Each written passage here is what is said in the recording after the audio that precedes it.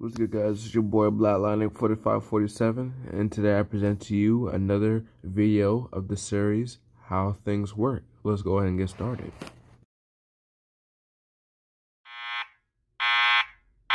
May I have your attention please? May I have your attention please?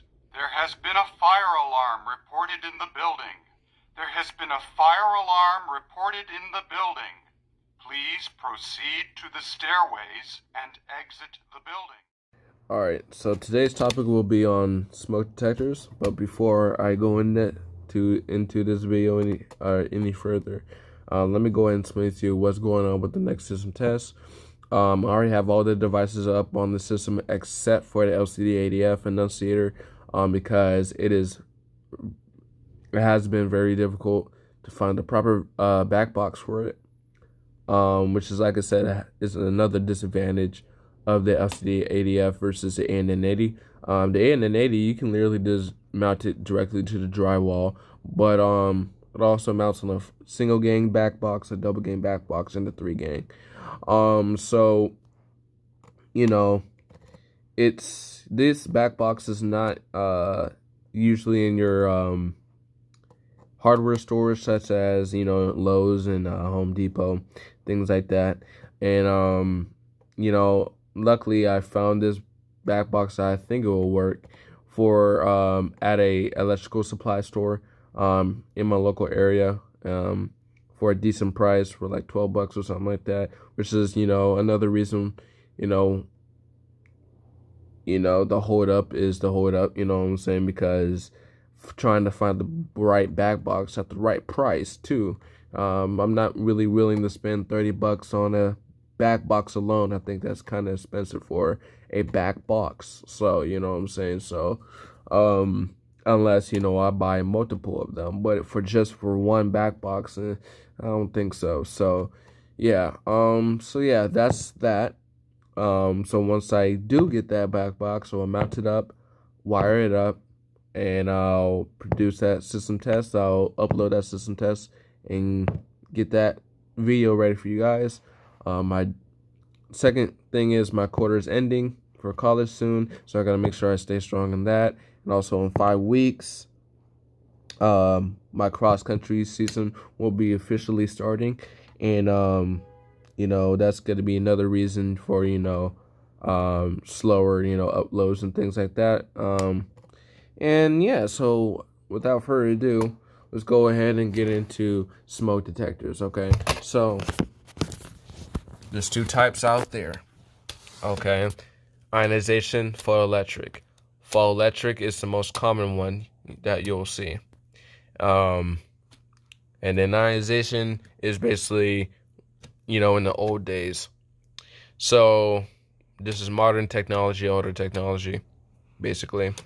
So, ionizations respond or I'm sorry, photoelectric on smoke detectors will respond better at slow smoldering fires, fires that do not produce a lot of smoke off the jump, off the rip.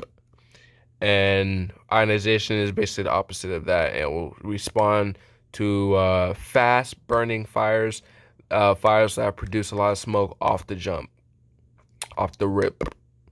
All right, so yeah, but you know they work uh differently. So if we pop the head off, first of all, both of these are two wire, and most of these detectors are two wire anyways. Um, and they're conventional, by the way. They're not addressable, obviously. So if you look at the head of this detector, um, this is basically a SIF 24F smoke detector uh, rebranded by Hochiki and things like that. Right here, if you look at this line, it says contains radioactive material. Um, so in here, there's radioactive material. Um, so what will happen is, and unfortunately, I can't really access the chamber, um, the smoke chamber where the smoke particles enter. Um, but there's radioactive material in here, and um, once the you know smoke particles enter this chamber, um, um, there will be a reaction with the radioactive material, and then once that material gets to a certain point, then it'll set this detector off and then it will short the zone, you know, short the wires on here and on that zone that this detector is on and that will initiate a fire alarm on the main control panel. And so, yeah, that's about it for this detector. I can't really tell you much because I can't really access uh, the chamber, but I can on this detector. So let me go ahead and do that. All right, so this is the inside of the smoke chamber of a photoelectric smoke detector. So right here, if you look real close, that looks like an LED, but that's actually an infrared sensor. It's basically a diode that senses a beam of light. So we have an LED right here that uh, shoots across here. Okay. Uh, so notice that we have all these like little angles right here. Um, so this this is what happens once smoke particles enter. And by the way, this the particles that enter in here has to be a certain density. And the reason why is for like natural sunlight, right? And you have this like mounted up against a window, right? Um, you don't want this false alarming uh, and having the detector think it's you know smoke when it's really just the natural light, right? So they you know obviously made it so this only reacts to a certain density of you know smoke, so that you know, whether there's natural light or dust or things like that accumulate onto the detector that it doesn't false alarm easily. You know what I'm saying? So right here, uh, we have an LED that shoots right here. And here's another LED. This will tell you the status of the detector. Um, this will blink periodically saying that there's power to the detector. And once this turns solid, that means the detector turns um, went into uh, alarm and things like that. So that will show you the status of the detector, uh, as you guys know of. So as I said for the fir- fourth time or so, um, there's an LED right here um, that shoots a beam right here.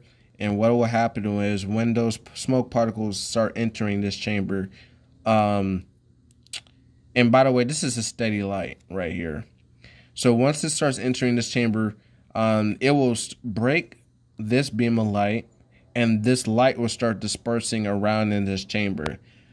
Then once that light starts hit uh, hits a certain angle, that angle will that beam of light will then hit into the infrared sensor, and that will um you know obviously change the value of the infrared infrared sensor, and then once that happens, then that will uh trigger the smoke detector.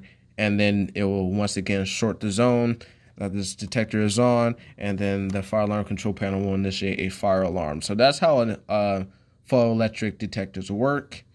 Um, like I said, the more the more uh, the more uh, what's it called? And by the way, um, these detectors are a lot more practical because obviously having radioactive material, you just have to replace the detector as a whole um, when it gets dirty or something like that.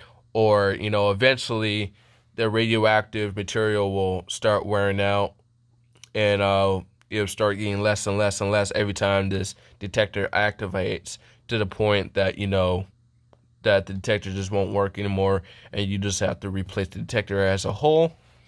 Um, whereas, you know, if this gets dirty or something, like I said, where I have it, you can just pop the cover off you know, get some compressed air, you know, give it a thorough, thorough clean out, and then, you know, pop the covers back on, which I'll do right now.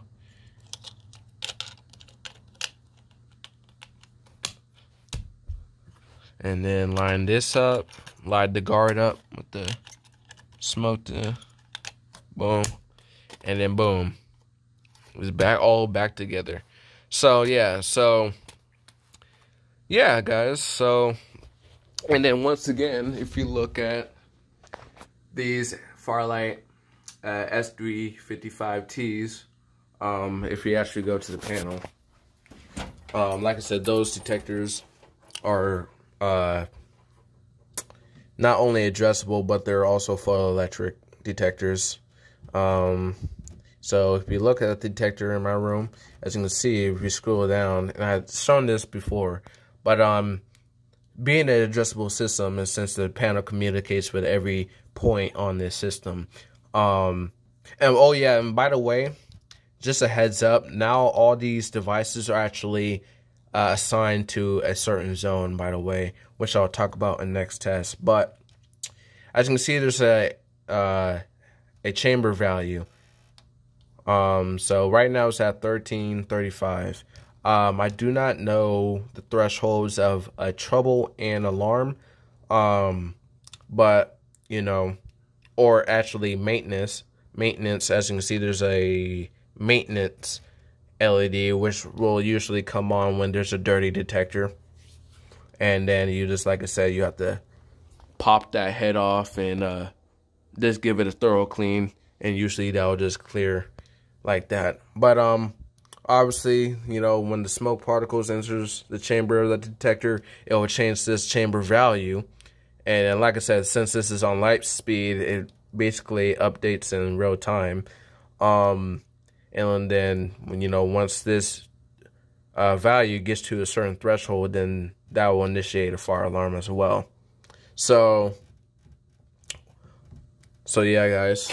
So, hope you guys enjoyed this video. Hope, um, hopefully this was helpful for uh, you know your understanding of how smoke detectors work um, and what types of smoke detectors there are and how they work and you know what this where purpose are. So other than that um, that will be the end of the video. Hope you guys enjoyed. Is your boy BlackLightning 4547 and i'm out this piece